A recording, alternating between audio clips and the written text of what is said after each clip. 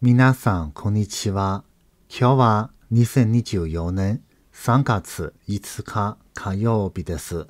今日のテーマは中国の不動産。誰も買いません。どうしてかと言いますと、中国の経済学者ですね、分析しました。長年かけて価格ですね、下落していくんですよと。また、日本の不動産事情、バブルですね。と中国の不動産事情、比べてみたんですよ。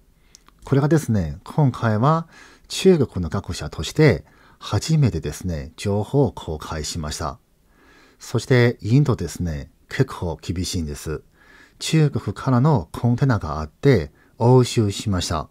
原因はこれについて話をします。また、ルーマニア政府ですね、5G 通信設備において華為社の参入を拒否しました。華為社はですね、言い訳して、まだ提訴するよと言っています。損失が大きいからですと言っていますが、情報が多いので少しずつ話をしたいと思います。1、ウクライナについての情報ですが、3月2日、ゼレンスキー大統領は発表しました。オランダ首相と安全協定を作りました。今年はオランダ政府は22億アメリカドルの軍事支援をしてくれますよ。そして10年間国防の支援をすると約束してくれました。現在、ウクライナと安全協定を作った国は、イギリス、ドイツ、フランス、デンマーク、カナダ、オランダ6カ国です。今回はですね、オランダも入りますが、また今年ですね、軍事支援、経済支援をみんなするよと決めました。また、カナダ側の情報ですが、カナダの国防長官ボレアさんですね、発言しました。カナダ政府は、カナダ軍をウクライナへの派遣をするよと決めました。ウクライナに行って、ウクライナ軍を訓練します。ただし、カナダ軍は戦場に行って、戦闘の参加はありません。前線から遠く離れて、後方で訓練の任務、非戦闘の任務を実行します。これでわかるのはですね、カナダはマクロン大統領のことを支持しています。この間、マクロンさんは言いましたが、ロシアに勝利させない、ウクライナに地上部隊の派遣を考えています。これは選択肢として考えています。この発言があって、アメリカ、ドイツはですね、どんどん発表されて、その計画あるいはそんな話ですね、ないですよと説明しました。でも、マクロンさんはその後、また説明しました。あれはスローガン、ただ口先ではなくて、よく考えて発言したんですよと強調しました。そしてフランスのアタル総理もその後説明しました。マクロンさんの考えとしては、フランス軍をですね、ウクライナへ派遣して、防空システムの操作の仕方を教えるんですよと。ウクライナ軍を訓練するためであって、ウクライナとベラルーシの国境線を守るためですよと。また、オランダの国防大臣、カイサーさん言いましたが、オランダもウクライナに地上部隊を派遣する用意がありますと発表しました。それからエストニアの首相さん、カラスさんですね、発言しました。エストニアは全ての可能性を考えていて、全力でウクライナを支持して勝利してほしいです。ロシアの負けを実現するには我々の努力が必要です。それからリトアニアの首相、シモニーテさん、発言しました。我々はマクロ大統領のことを支持しますよ。ウクライナへ地上部隊の派遣について、配置について指示します。そういう話があったんです。これでわかるのですね、マクロンさんは、あれは適当な発言ではなかったんです。これに関してプーチンさんは今後の作戦ですね、よく考えないといけないというふうに思います。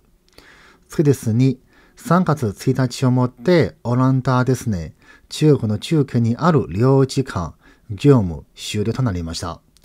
中堅にあるオランダの領事館ですが、管理する、まあ、管理する地域としては、四川省、山西省、雲南省と貴州省の業務を行っていました。今後ですね、北京にあるオランダの大使館がやりますので、2013年9月でしたが、オランダ政府と中国政府、仲良くて、中継で領事館作りましょうかと言ったんですよ。中国人留学生、中国企業の進出について、両国の貿易使いを強化しましょうと、そういうためだったんですよ。2010年以降、中継で多くの国は領事館を設置しました。ピーク時でしたが、10カ国の領事館があったんです。しかしですね、コロナの影響もあって、外交の問題もあるし、業務の量はすごい減りました。今回はもういいですよと、閉鎖となったんですよ。2021年、デンマークとエチオピア、ベラルーシの領事館を閉鎖されましたが、スケデス3、3月1日、山東省の特集市にはですね、交通事故があったんですよ。運転手さん、あるいは容疑者ですが、王さんですね。現地の第三地県小学校の正門の外ですが、小学生の列に向けて自動車で突っ込みました。2名は死亡で、6名は重傷です。運転手さんは現行犯逮捕されましたが、そして噂はあるのですが、飲酒運転であったり、農薬を飲んでいたとかですね、そういう発説はあるんですが、これについてまた情報収集して話をしますが、中国ではですね、経済が下落すると、たくさんのですね、事件が起きるんですよ。次です。4。台湾ですね、新しい立法院公開が起動しました。国民党はですね、行政の修正を提案しました。これについてまず説明しますが、台湾人と結婚した中国人のことですね。大陸側の配偶者のことを省略して陸配と言います。大陸の配偶者、陸配と言います。内容はですね、陸配の方ですが、台湾の国籍を取得する期間を4年間にしましょうよと提案しました。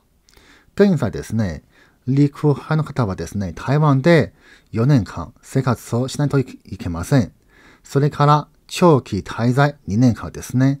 4年間あっての2年間ですね。この2年間は特別の事情がなければ出国あるいは中国に、戻ることはできません。基本はですね、やめた方がいいんですよ。なので合計ですね、6年間が必要です。これがですね、できれば中華民国の国籍を取得することが可能です。期間は可能です。でもですね、大陸以下の配偶者はですね、4年間だけで帰化できますので、これで国民党の主張としては、台湾人の奥さん、あるいは台湾人の旦那さんをですね、差別してはいけませんよと要求しました。これについて、野党の民衆党ですが、支持しますよと発言しました。しかし与党の民進党ですね、批判しました。原因はですね、中国の陸派について大変ですね、台湾で優遇されています。外国の配偶者ですね、中華民国の国籍になったらですね、自分の国籍を放棄しなければいけません。これが条件です。ただし、台湾政府として中華民国というのは中華人民共和国の一部として認識しているわけですから、陸配だけについて中国の国籍を放棄しなくてもいいんですよ。ただしですね、中国にある戸籍を放棄することが必要です。また、陸配の場合はですね、台湾語、また中国語のテストはいりません。座力の証明書もいりません。かなり有効ですね。他の国でしたらですね、座力の証明書が必要です。例えば、年収の証明書、あるいは自分の国にある財産の証明書、どうしても必要です。また、陸配だけですね、中国にいる親ですね、70歳以上であれば、連れてくることが可能です。つまり、老後ですね、台湾で、えー、養うことは可能です。また、台湾の国民と全く同じ待遇を受けることは可能です。つまり、医療保険も全く同じです。そして、12歳以下の子供さんも台湾でお父さんお母さんと一緒に生活はできます。同じく医療保険は台湾政府としては提供します。ただし、これについてはですね、他の国方はダメなんですよ。現在中国軍ですね、台湾海峡でものすごい活動してですね、圧力をかけています。最大の野党として国民党ですが、この法律を修正を提案するのは不適切ですよと民進党が指摘しました。もし平等公平のためであればですね、どうしても修正するとであればですね、外国人と同じようにしますよね。つまり中華民国の国籍に加入するならですね、中華人民共和国の国籍を放棄することが大事です。なので、こういう提案もしてくださいよというふうに提案しました。指摘しました。また、外国の配偶者と同じように、お父さんお母さんを連れてきてもですね、台湾の国民健康保険適用しません。そういう話があったんですよ。次です5、イギリスの冊子ですが、ランセット色冊子ですね、ある情報を発表しました。2022年、世界で10億人ですね、肥満症です。1.59億人は子供さん、また青年ですね。これは1990年より3倍増加です。子供さんと青年とは5歳から19歳です。それから8.79億人は成人です。これは1990年より倍増です。肥満となってですね、心血管疾患、糖尿病とか、癌とかですね、なりやすいんですよ。また子供、青年の肥満を防止するには、母乳を推進するんですよ。また、飲料とかジュース、お菓子ですね、などなど、そういうコマーシャルでの宣伝ですね、やはり規制しましょうかという提案もあったんですよ。特に学校の周辺にある売店、高糖質、高脂肪の飲料ですね、食べ物の販売を規制しましょうかという話があったんです。そしてですね、実は中国の肥満について話をしたと思いますが、これはですね、実は中国ではもう社会問題となっていますので、中国ですね、肥満の人口において、アメリカを抜いて世界最多となったんですよ。政治の49%ですね、ほぼ半分なんですよ。肥満と中国の医療機構がこの結果を出しました。つまり、二人に一人肥満です。改革開放の前からですね、1990年前後までですね、肥満イコール裕福なんですよ。なので、肥満ですね、いいんですよ。そういうふうに私も思っていました。つまりですね、かっこいいんですよ。周りから見てお金持ち、羨ましい。ちなみに私もですね、肥満の方ですね、お腹を見て羨ましいと思った時あったんですよ、実は。これはですね、結構長年続いてたんですよ。やはり羨ましい。お腹が大きさですね。まあ、男性の場合はですね、かっこいいんですよ。実はですね、今となってやはり逆だったよねというふうに思いますが、食べ過ぎ以外にはですね、食事の習慣とか生活の習慣にも関係ありますので、つまりですね、中国では仕事が終わる時間帯がものすごい遅いんですよ。まあ大体9、9、6が多いんですが、休みも少なくて、深夜ですね、やはりお店も開いていますので、そこで食べる、それから帰って寝る、次の日また働くっていう繰り返しですね、やりますので、またですね、食事の関係においては、やはり色とか香り、味が大事であって、つまり薄味は人気ありません。油とかお醤油とかですね、香辛料とかですね、そういった調味料をたっぷり使うんですよ。これが中華料理の特徴ではありますが、つまりですね、日本の料理は新鮮なお野菜ですね、食材を本来の味を大切にしますので、シンプルな調理方法でも美味しいんですよ。でも中国はですね、野菜もおかしいんですが、食べ物自体がですね、食材にはやはり問題がありますので、シンプルな調味方法ですね、やはり美味しくないんですよ。そうすると、たっぷり香辛料を使うんです。そういう特徴があります。なので、こういう問題もあるでしょうかというふうに思います。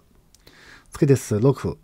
インド側の情報ですが、インドの新聞紙ですね、The Economic Times っていう話ですが、インドの安全機構ですね、ムンバにあるナワハシワっていう港をですね、経由していたんですが、中国からパキスタン向かうですね、船を調査して、中国の荷物を押収しました。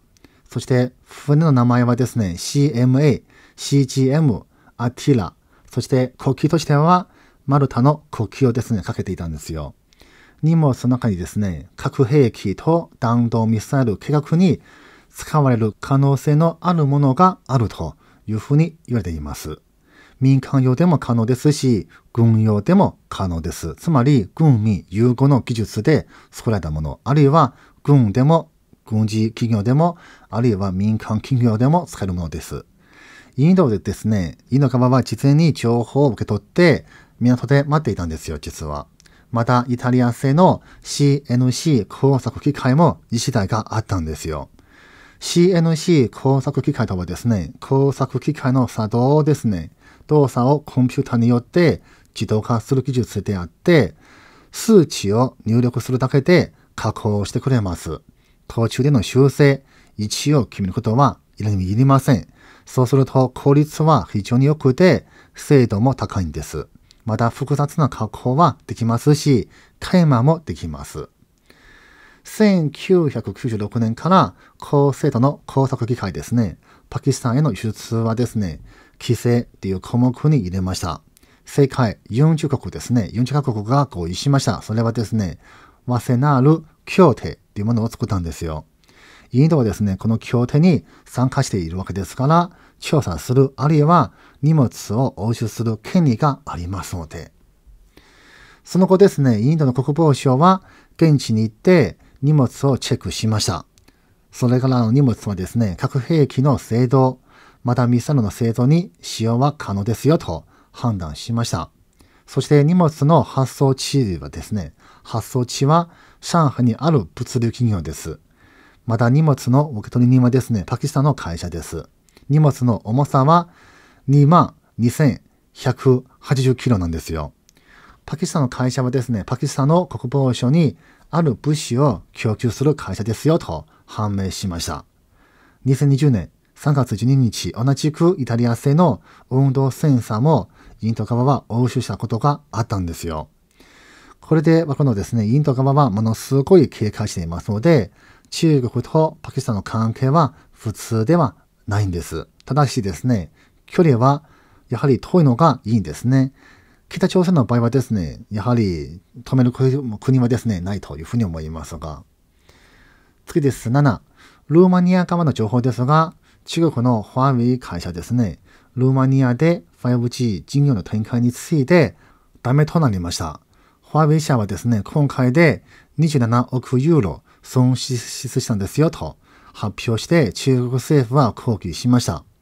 そして、ファーウェイの弁護士はですね、発表しました。たくさん損失しました。これからファーウェイ社は提訴することを考えていますよと発表しました。原因はですね、2021年、ルーマニア政府はある法律を作ったんですよ。通信設備、5G 通信も含まれますが、ルーマニアの通信企業ですね、外国の設備を導入するときですね、事前に国会の審査が必要です。国会で審査して、討論して首相が決めます。また、通信設備にはソフトというものも含まれています。その後、国会で討論されて、ファーウェイ社のものはですね、やはりいりませんと決められました。ただしですね、どうして27億ユーロ損失でしょうかこれについては、ファーウェイ社は説明していません。中国政府発表しましたが、両国の経済、貿易ですね、ここまで発展してきたわけですから、大事にしてくださいよと警告しました。つまりですね、今後中国政府は何かですね、経済規制、あるいは経済ですね、対策、出すかもしれませんが、つまりルーマニア政府を建設するでしょうかと思われます。次です。8。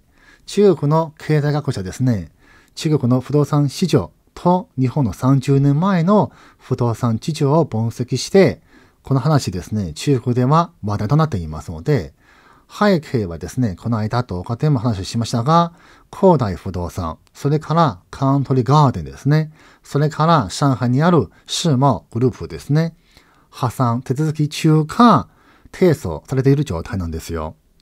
また、アメリカのロイターの分析ですが、2024年、中国の不動産市場について、新築不動産市場ですね。新築不動産価格は全体的に価格ですね、0.9%下落するでしょうか。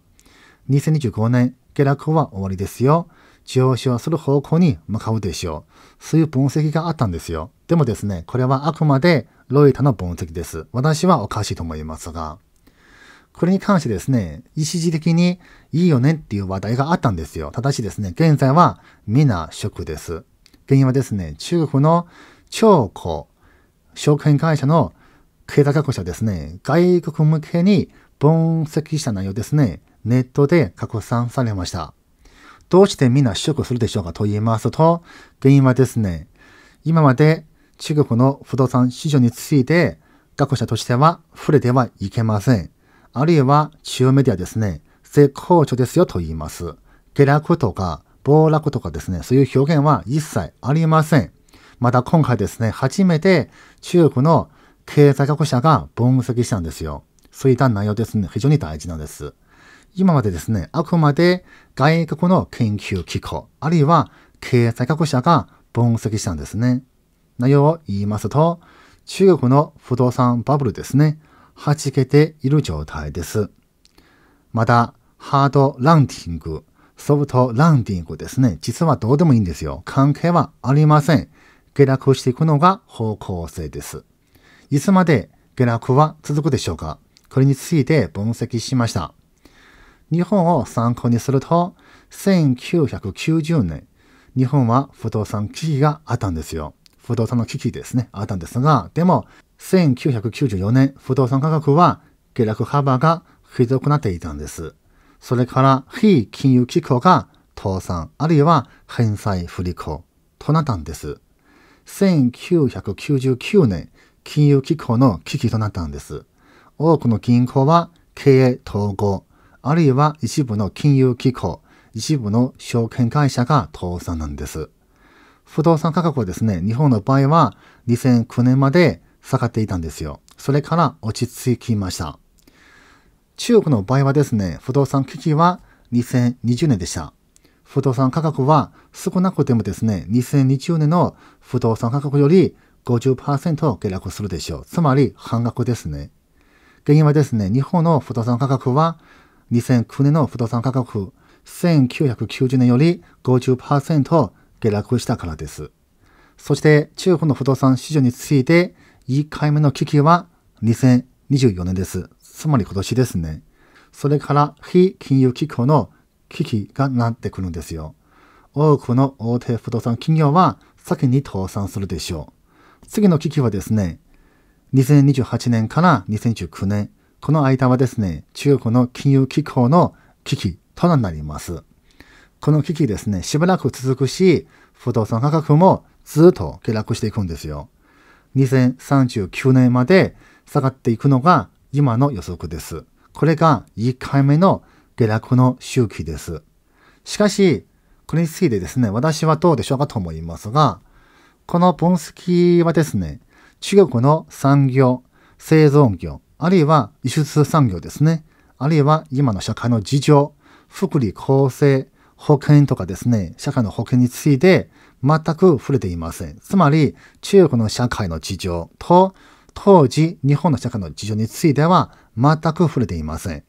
実はですね、不動産価格は下落するんですが、でもですね、これで経済が悪化するよね、とは限りません。またですね、私は、私の考えですが、影響力ですね、について話をしますが、あるですね、まあ、言葉、あるいは表現があるんですが、アメリカがくしゃみをしますと、先進国ですね、みんな風邪をひくそういうふうに言われています。つまりですね、アメリカの経済力ですね、ものすごい強くて、特にアメリカドルですね、強いんですよ。アメリカがくしゃみすれば、みんなですね、風邪ひくんですよ。そういうふうに言われます。つまり、みんなですね、多少でもショックを受けます。ただしですね、これについて実はですね、日本も同じなんですよ。例えばですが、日本の、えー、自然災害ですね。例えば、どこどこ地震が起きました。世界の金融市場ですね、大きく下落するんですよ。例えば、ある場所、地震がありました。プリンターとか、インクとか、カメラとかですね、自動車部品もそうですし、自動車もそうですし、あなたとですね、日本製のものは世界では値上がりなんですよ。中国にある日本の工場であってもですね、同じなんですよ。すごいショックを受けます。ただしですね、現在は、まあ、これは中国の場合ですね。世界第2位経済規模ですね。中国はですね、GDP。そして中国の経済は、まあ、下落してましたね。経済は良くないんですよ。そして中国の輸出も不況ですね。消費市場も良くないんですよね。ただしですね、この状態であっても、日本の株価はものすごい好調ですね。絶好調ですね。昨日でしたが、3月4日の、あのー、昼ですね。まあ、3月4日ですが、日経平均ですね、4万円超えたんですよ。これは素晴らしいんですよね。まあ、当然ですが、この数値自体が史上初です。つまり、日本のバブルですね、当時以上に超えたんですよね。これは素晴らしいんですよね。つまり、中国の経済色ですね、全くありません。またですね、実は世界の経済もですね、同じなんですよ。中国に影響されていないというふうに私は思います。つまりですね、中国の経済はですね、世界ではそんなに重要でもないんですよね。例えばですね、中国政府はいつも表現しますが、あるいは自慢するんですが、中国はですね、世界の経済を引っ張るエンジンだよと言います。これが結果のですが、今ですね、見て、そうではないですよね。その話自体が嘘だったんですよね。中国の経済はですね、大事かもしれませんが、でもですね、そこまで世界にとってはそこまで重要でもないんですよ。株価見たらわかると思うんですが、なので、中国の経済ですね、そこまで影響力ないというふうに思います。影響力ですね、なければないほど、どうでもいいと思われるんですよ。どうでもいいというのはですね、つまり中国に投資することはもうないんです。あるいは中国への進出はもうなくてもいいんですよとなってくるんですよ。そこまで影響力ないわけですから、そういうふうにですね、みんな認識してくるんですよ。この状態で中国の経済ですね、復活する、あるいは再び良くなっていく、あるいは中国の不動産ですね、下落するのは止まります。いつまで止まるのはですね、私は難しいと思うんですよ。中国の経済ですね、まあ、不動産市場ですが、下落するイコール経済が悪化するとは限りませんが、でもですね、不動産価格は上昇するイコール経済が上昇なんですよ。経済が良くないのに不動産価格ですね、だけ上昇するのは私はないと思うんですよ。少なくてもですね、需要はそこまでないんですよね、というふうに私は思いますが。つまりですね、中国の不動産価格ですね、いつまで下落するでしょうか。それはですね、あるポイントですね、大事なんですよ。つまりですね、不動産に対する需要ですね、どこまで溢れるでしょうか？また、もう一回ですね、不動産が大事です。みんな不動産が欲しいです。買わないといけません。そういう認識ですね、生まれるまで不動産は下落していくんですよ。と私は思いますね。なので、これはですね、もう一回起きるとはかなり難しいと思うんですよ。なので、私は難しいと思いますよ。つまり、日本の場合はですね、まあ、20年間、あるいは30年間かかったかもしれませんが、でもですね、中国の場合は、それは20年、30年だけでは進まないですよ。で、日本はですね、別にこの20年間、30年間、何かが、まあ、失ったか私にはわかりませんが、でもこれはあくまで日本の方の表現ではありますので、我々は失った20年、30年、40年ですよと、いくら言ってもいいんですが、でもですね、私から見て見えないんですよ。何が失ったか全くわかりません。でも中国の場合は違うんですよ。そこまで技術ないんですよ。輸出も良くないんですよ。つまり、競争力ですね、持っているものないんですよ。実はですね。それもいつの動画で話をしましたので、これが、この状態で中国の経済ですね、良くなる、あるいは不動産市場ですね、良くなることは私は難しいと思うんですよ。まあ、そもそもですね、中国の不動産市場ですね、良くならないかれば、中国の消費市場も良くなりません。中国の消費市場が良くなければ、中国の経済も良くなることは絶対ないんですよ。と私は思っています。またですね、中国の政府の施策、あるいは習近平の施策ですね、についても話をしたと思います。この動画はここまでにしたと思います。最後、いいねボタンをお願いいたします。